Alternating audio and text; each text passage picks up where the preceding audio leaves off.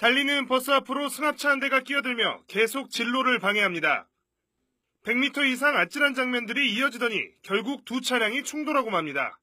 어, 제가 그냥 마지막 1차로 지금 그 차가 제 앞으로 들어오니까 제가 브레이크를 밟았거든요. 이때 승합차에서 내린 운전자가 버스로 올라타더니 버스 운전기사를 마구 때립니다. 주먹과 발을 이용한 마구잡이 폭행은 경찰이 출동하기까지 10분이 넘는 시간 동안 계속됐습니다. 도로 한복판에 세워진 버스 안에서 무차별적인 폭행이 일어날 10여 분 동안 승객들은 공포에 떨어야만 했습니다. 경찰은 승객들이 탄 시외버스를 위협하고 버스 운전기사를 폭행해 전치 4주의 부상을 입힌 혐의로 30대 남성을 붙잡아 조사하고 있습니다.